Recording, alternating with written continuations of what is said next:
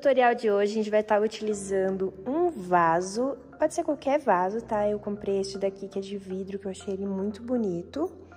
Também vamos precisar de argila para artesanato e eu vou utilizar essas plantas aqui, que são samambaias permanente, aquela crespinha.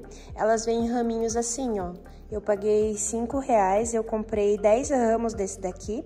E essas aqui, pra adiantar, eu já soltei, porque assim eu posso encaixar de uma maneira que fique melhor pra mim, assim. Mas se vocês preferirem só abrir elas assim, encaixando, também dá. Eu coloquei um jornal aqui só pra proteger o vaso, mas na verdade não há necessidade. Então eu vou colocar argila aqui dentro agora. Deixa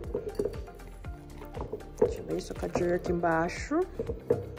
E o processo agora, gente, é super fácil. É só vir aqui espetando as folhinhas da samambaia e modelando da forma que você achar melhor.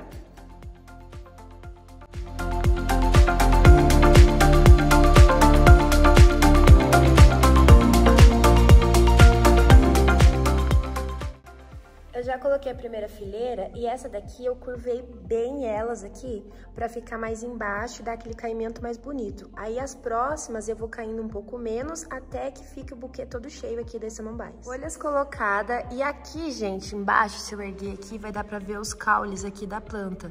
Então dá pra vocês colocarem pedrinha de argila, pedra branca pra esconder que vai ficar bem bonito também.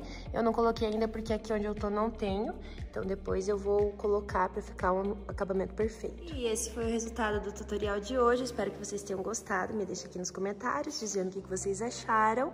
Se vocês fariam também na casa de vocês.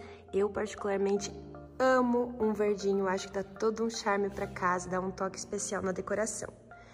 Se você não segue ainda o nosso canal, aproveita e se inscreve. Venha fazer parte da nossa família também. Um big beijo, fiquem com Deus e até o próximo vídeo.